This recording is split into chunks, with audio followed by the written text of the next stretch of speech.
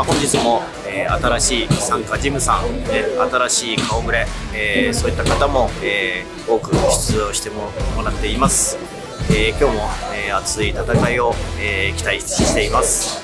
また、え YouTube でも、え配信していますので、えー、またある時に、え視聴していただければと思います。よろしくお願いします。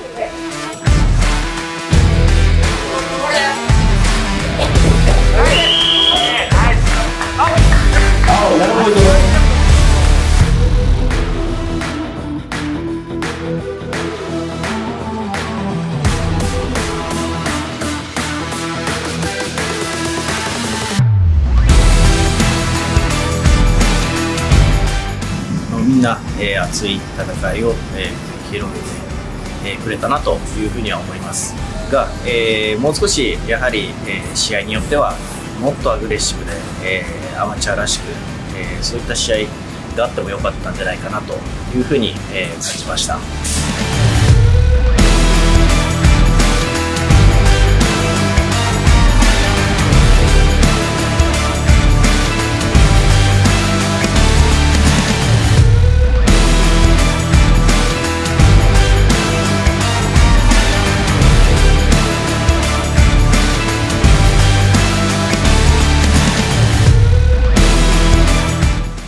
まあ、次回、えー、アマチュアチャンピオンシップの、えーまあ、選考会と